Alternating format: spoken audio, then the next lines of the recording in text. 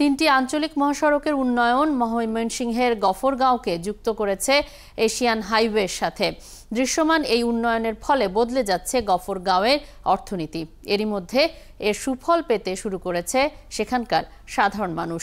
নুরুজ্জামানের ছবিতে গফরগাঁও সংবাদদাতা আব্দুল আওয়ালকে সাথে নিয়ে ময়মনসিংহ থেকে বাবুল হোসেনের প্রতিবেদন।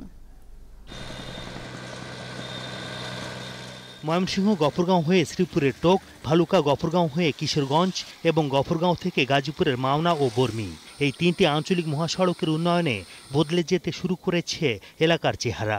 এই এলাকায় বিভিন্ন মিল ইন্ডাস্ট্রি এবং উন্নয়নমূলক বিভিন্ন প্রতিষ্ঠান গড়ে উঠবে। কৃষি পণ্য এবং যে কোনো আমদানি রপ্তানি আমরা কারণ বাজার এনি টাইম নিয়ে যেতে পারতেছি। একসময় ট্রেন ছাড়া সহজ কোনো যোগাযোগ ব্যবস্থা ছিল না গফরগামের সাথে। সেই অবহেলিত এলাকাটি এবার যুক্ত হয়েছে উন্নয়নের মহাসড়কে। ভালুকা থেকে কিশোরগঞ্জ ও হোসেনপুর যাইতে আপনার দূরত্ব যত কিলোমিটার আছে যদি আমরা যাওয়া আসা আপ ডাউন করি সময় প্রায় চার থেকে সাড়ে চার ঘণ্টা সেভ হবে। যে কোনো মুহূর্তে যে কোনো সময় চলাচলের মতো একটা সুব্যবস্থা এখন আসলে আমরা সহজেই রুগী নিয়ে ঢাকা বা ময়মনসিং আমরা মুভ করতে পারি। রাজধানী ঢাকা ছাড়াও কিশোরগঞ্জ সিলেট সহ উত্তরবঙ্গে যুক্ত হয়েছে আঞ্চলিক এই মহাসড়কের নেটওয়ার্ক এলাকাবাসীর দীর্ঘদিনের স্বপ্ন পূরণের কথা জানালেন খোদ নির্বাহী প্রকৌশলী।